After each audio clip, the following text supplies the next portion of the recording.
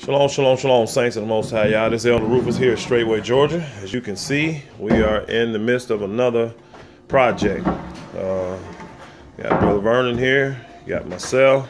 Shalom, shalom, Saint, saints. there you go. Got myself, and the other brothers will join in whenever they have time. Uh, Brother Michael just got home from work about an hour ago. Brother D is still at work, and Brother Tim left for work about six this morning. Me and Brother Vernon got out here about six o'clock this morning. Brother Vernon had already um, removed everything from out of here. So now what you see we're doing, we had a section here on this floor. This is the kitchen. We're gonna put in a new base cabinet um, floor first, of course, as you can see. Gotta change out some of this. Um, what is this crap called, Brother Vernon? I forget. What?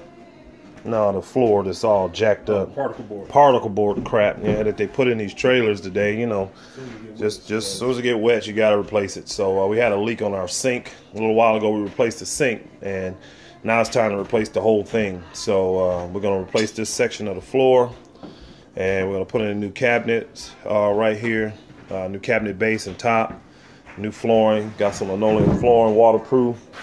And then, of course, you know, since we got to put new flooring down, the flooring is in here. You kind of see it right there. So we're going to end up changing that back around to changing the color, I should say. We'll have to repaint all this that we painted earlier. But it looked nice and neat in here for the sisters. They have a little bit more room too because we had a dishwasher that never got used, not one time. And uh, because we're the dishwashers. well, the sisters are, I should say. They do that. But um, so removing that is going to leave a whole bunch of cabinet space there. We're going to build in new cabinet space here. We're considering turning this room into our freezer room. And as you can see, we got a lot of stuff in here. Storage, all kind of. It's a little crazy now because of the moving. But we got some in-house storage here. Uh, freezers. So we're going to reconstruct this a little bit and probably put, see we have a refrigerator here. And I'm gonna say, no, we got two refrigerators. Oh, there they go. See, we have two refrigerators. So we're gonna end up putting both of those in that room over there.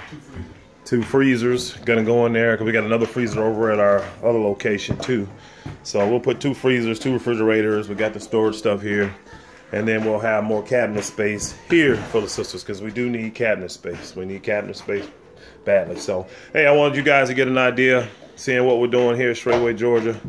Uh, trying to stay busy like always, and um, this will I'll do this video, and then I'll probably do one when it's done. I really will, just so you guys can see the finished product. Maybe uh, even before they paint and do all that kind of stuff. But just once we got the base cabinet in and the top and the sinks and and you know all that stuff. Once we got that in, I'll probably do a video then so you guys kind of see the finished product. All right.